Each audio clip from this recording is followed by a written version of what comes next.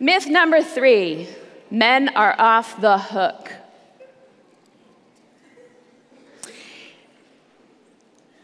You probably noticed that I'm not into political correctness.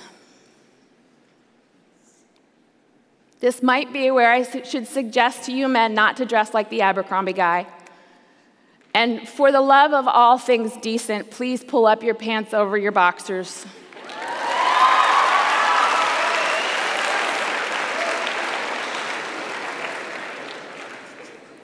But that's not what I feel led to tell you today.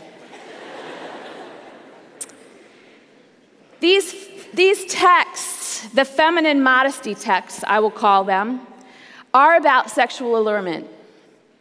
And they are directed to women, that women should be in self control and that women should express respect in the way that they present themselves.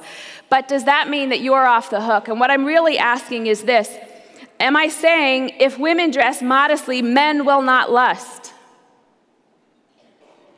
Let me be very clear.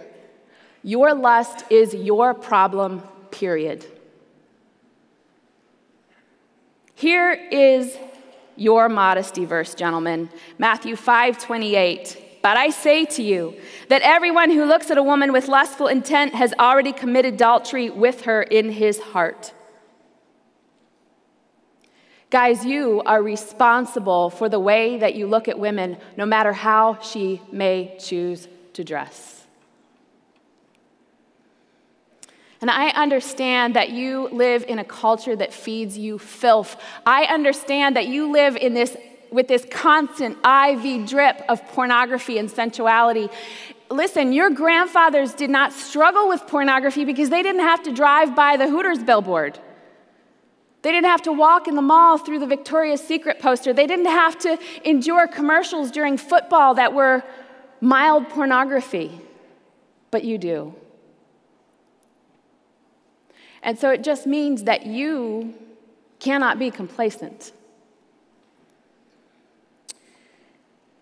A woman who is unaware of these teachings on modesty, God's word on modesty, perhaps even a woman who is spiritually lost, should be able to walk across this campus. She should be able to walk across this campus dressed anyway and because you are feeding yourselves the scriptures and feeding yourselves God's truth, that what rises up in you would not be the question, what can I get from her, but what can I give to protect her? What are you feeding yourselves? What are you feeding yourselves?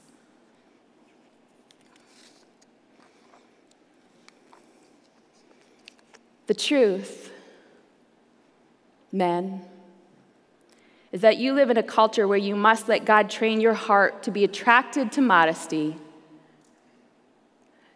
and to be protective of a woman who doesn't understand that.